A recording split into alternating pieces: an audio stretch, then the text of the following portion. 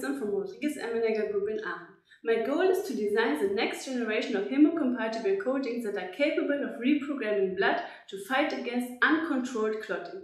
This is the biggest unresolved challenge for all blood contacting medical devices.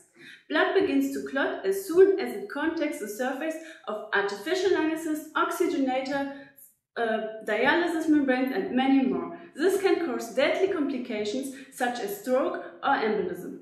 However, in nature, clotting is counterbalanced by the fibrinolytic system. So my idea is to transplant this key uh, concept of the fibrinolytic system to develop my coating.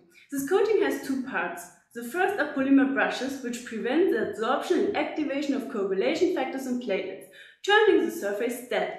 The second is tissue plasminogen activator, the key enzyme of the fibrinolysis, linked to the polymer brushes.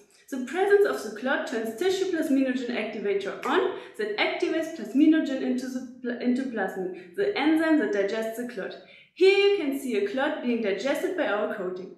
Like an orchestral director, the coating decides when it's time to activate blood enzymes to digest the clot and to stop when the task is finished. This system will have a great impact in the medical field, especially for oxygenator membranes.